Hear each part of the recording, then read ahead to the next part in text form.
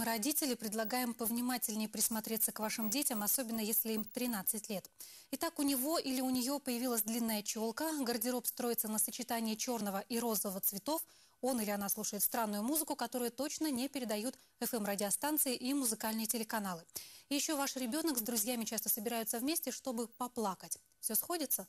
Просто он стал Эмо. Америка столкнулась с ними в 80-х, когда пышным цветом расцвела панк-культура. Ну а теперь Эмма и до нас добрались. Ольга Белова познакомилась с ними поближе.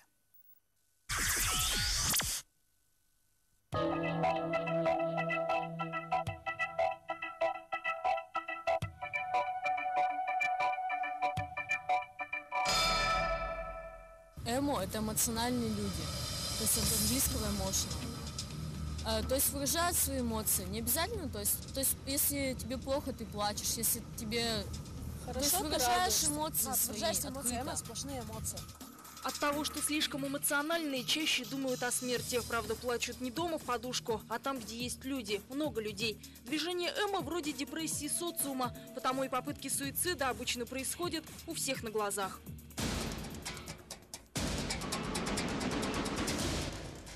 Большинстве случаев, да, как раз показушные. Когда человеку 13-14 лет, и он думает, что если он э, порежет себе вены, н- напьется таблеток, выбросится с пятого-десятого этажа, и, и он будет замечательным человеком, и о нем кто-то вспомнит. Настоящий Эмо может принять попытку суицида о какой-то любви. Прощение с самим собой – крайность. Так делают только те, кто считают себя истинными или true эмо. Большинство же, так называемые позеры, просто подражают стилю. Ничто эмо-позерское и Тюмени не чуждо. По-настоящему разбивают свои сердца в сердце России. У нас город как-никак, но он немного отстал, чем, допустим, столицы Москва, Питер, да. У нас просто такой город. Большая часть людей, большая часть альтернативщиков, эмо и так далее рв- рвутся как бы в Питер, потому что там кипит жизнь, там клубы, там э, какие-то тусовки.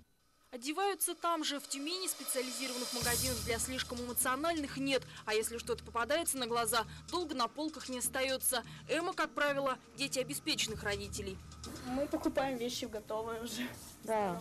Ну, нам родители, у нас как бы достаточно денег, чтобы мы себе могли позволить что-то такое.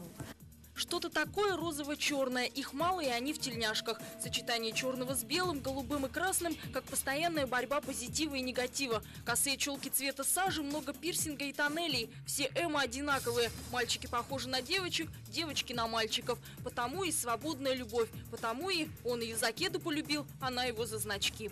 Если ты любишь определенного человека, то значит ты будешь и верен ему и так далее и тому подобное. То есть как бы не важен пол этого человека.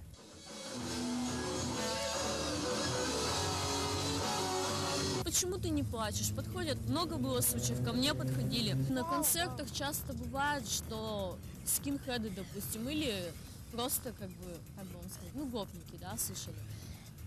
Просто берут и бьют тех, кто похож как-то на эмо. Иногда приходится прятаться по углам. Другие неформалы эмо не любят и гоняют. Эмо это вообще, по-моему, направление музыки, а то, что вот это вот, Ну да, это вот наряжаются, вот так они ходят, ну, блин, Это это, полу- полуготы какие-то. Это модно просто и все.